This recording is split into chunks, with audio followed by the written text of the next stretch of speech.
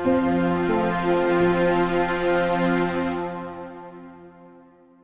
three, PDAC 2023, and today I have Peter Moore from Sierra Nevada. How are you? Very, very good, Tracy. Going well.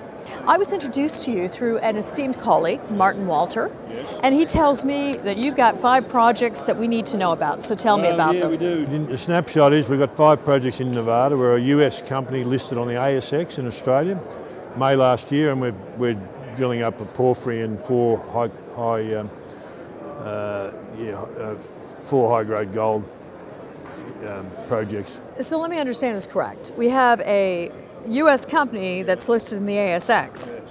Okay, why have we done that, Peter? because uh, we were here, I've been here since 2010 with the company, Sierra Nevada Gold, and we've uh, been putting the projects together. We invested, you know, $15 million in developing the projects and uh, putting the land positions together and all that.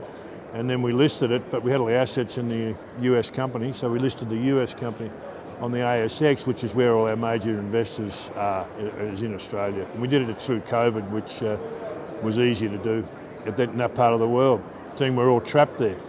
So for everybody an investor Intel land, the ASX is actually heating up and we've got a lot of Australian investors, of course, looking at assets in the United States and Canada. So, uh, what should we be expecting this year, uh, Peter? What uh, what plans do you have? Well, last year we drilled uh, four of the five projects, and we are continuing that program. Ran into winter, so we've uh, we got half the program done. So that drilling is going to continue this year. Um, so we should get some, you know, pretty good news flow. We've had uh, some really good results so far on two of the projects. Um, good intercepts, um, lots of really good ideas to follow up on, and one in particular, our Warrior project, has a pretty good uh, size mineral system we've identified. So we're ready to uh, keep drilling. All right, well, now I have to ask you, because a few people whispered to me and said, that is a big former AFL star from Australia.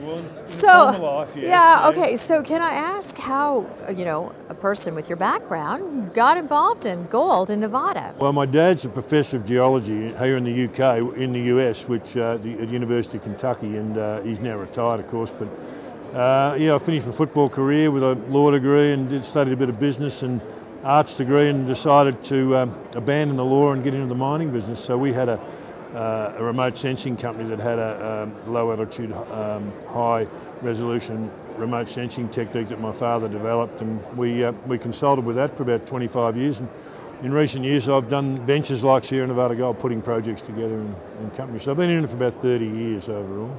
That's Peter Moore from Sierra Nevada Gold. Thank you so much for dropping by and Great, Tracy. Good to chat with you, and um, hope the conference goes well for you from now on.